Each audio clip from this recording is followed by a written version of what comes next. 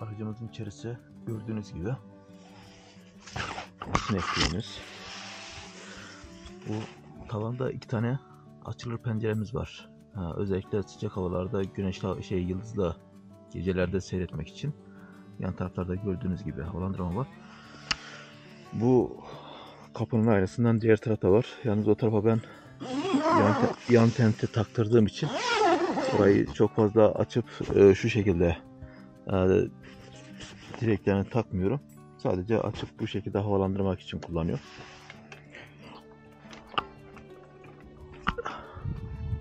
Şu şekilde gördüğünüz gibi.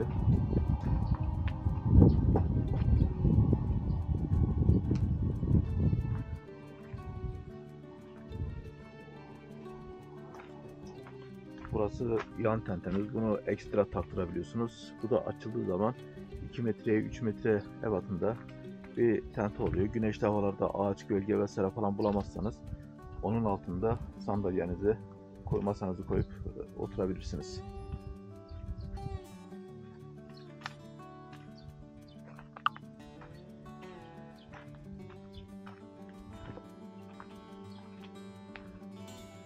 Çadırımız bu şekilde. Umarım videomuz faydalı olmuştur. Böyle manzaramıza da bakabilirsiniz. Hortumlarındayız.